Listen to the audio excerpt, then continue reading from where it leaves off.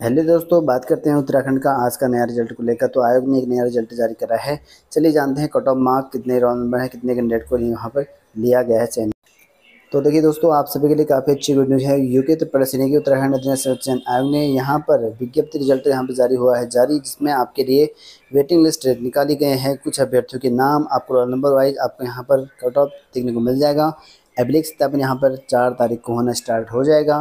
इसके लिए आप नंबर वाइज देखते हैं यहाँ पर। आपकी जो हाइस्ट कैटेगरी गई है ओबीसी में 59 गई है। लास्ट आप लोग देखते हैं यहाँ पर ओबीसी लास्ट गई 45 गई बहुत ही कम कट ऑफ़ गई है।